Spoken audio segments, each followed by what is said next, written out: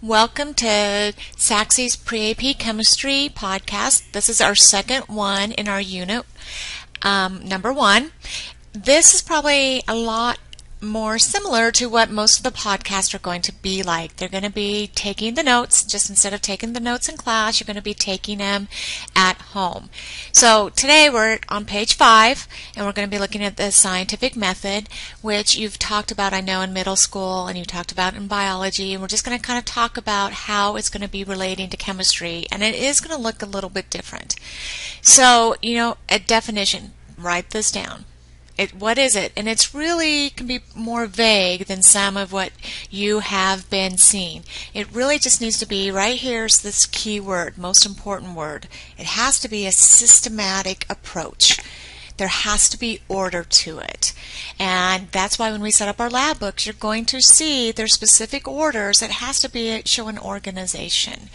And you can use you will use scientific method in all of your sciences you use it outside of the sciences but when we're talking about that scientific method it's research and you'll definitely hear about research and studies have shown and you know that they've gone through this process and again here's this key word systematic organized organized organized. This is what we're going to have um, an expectation of you guys that you're going to try to help you to be organize your thoughts so that when you have a lab you can kind of make sense of it and that we're doing labs for a reason and there's a purpose to it.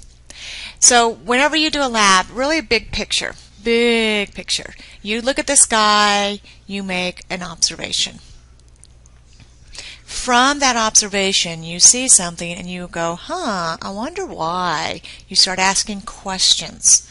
Then, when you start asking questions, you're going to start making some predictions. And then, when you make a prediction or hypothesis, then you want to say, huh, I wonder if I'm right. You're going to test that. That's going to be an experiment. Then, what are you going to do from your experiment? You're going to collect some data. How did I do from this? Then, from that, you're going to make some conclusions. But a lot of times you can't do that conclusions yet because from this data, from this test, you make new observations. And then you make new questions. And then new predictions. It's really for many times in, in um, research, it's a never ending, well, hopefully you reach an end, but it feels like it sometimes is never ending process of always adjusting and testing. Okay, we won't always be doing this. Sometimes in chemistry, you have to admit, our experiments look a little bit different. We're trying to test how good a reaction is. We want to do the reactions to try to prove what we're doing we see in pencil and paper. We're trying to prove it in writing. So what you'll do this year in, in research, excuse me, what you're going to do this year in chemistry is really not going to be so much research based. So part of that pictures you're going through there, you need to always collect data. So the first type of data that we're going to talk about is a qualitative. Qualitative is words. These are your observations that you need to take in every lab you take. Every lab you will record observations. Full sentences, you're writing. What did you see? You're using your words. So qualitative, descriptive. So the other type you will be taking, quantitative. Whoops, random marks there. I do random marks all the time. But look at this, a quantity.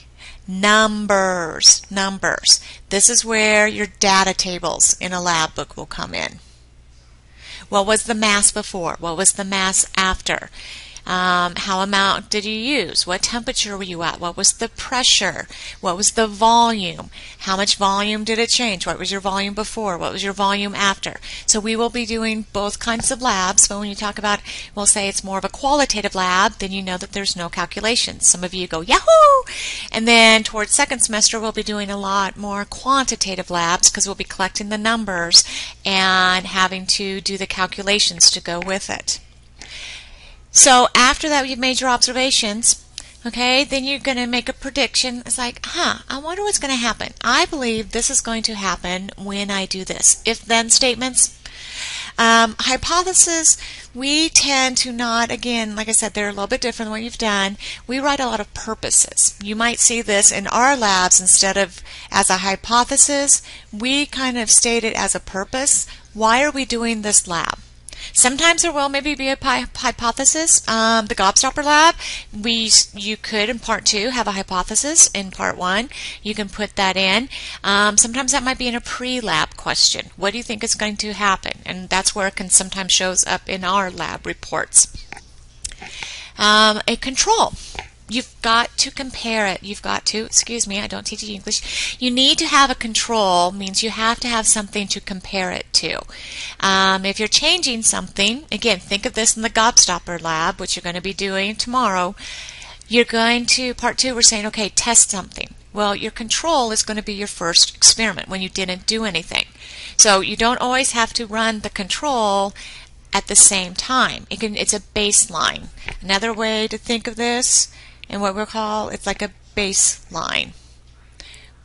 What happened when nothing was changed? And remember for a good experiment, and remember this for tomorrow when you're designing, what, I guess you'll actually do the lab on Friday, what you change to be a really good experiment, you should only change one thing to really test it to see what happens and what you changed. Okay, the experiment is just what it kind of sounds like. That is just the test is a set of controlled observations. Well, it's controlled observation because you're making controlled changes. So in your experiment, you are having some, you're making controlled changes to a system. And then when you do those changes, or you do a reaction in our case, or you're doing something, you are going to then record the data. And then from that, you're going to be able to draw. So a conclusion is after all of that, you're going to draw a conclusion to your experiment. For us, we really, really want you to go back to your purpose. What was the purpose of your lab? From your purpose of your lab, were you successful? Was it successful? Were you able to draw some conclusions that you can say with confidence that I was successful, I wasn't successful in this experiment? So the next couple days we're going to be looking at the scientific method. I've left you, we've left you a couple questions. There's one question right after there. What is the function of a control in an experiment? You should be able to just answer that in your own words. And then um, it should have been put up on top, but look at the bottom of page 5 after introduction, skip that. Down at the very bottom, there is a bolded statement. It says give two examples, each each, so you should have a total of four examples. I want two qualitative and two quantitative pieces of data regarding your bedroom. So that is what we're going to be looking for when we're walking around checking for your podcast. We want to know that you answered that question. We will see you tomorrow.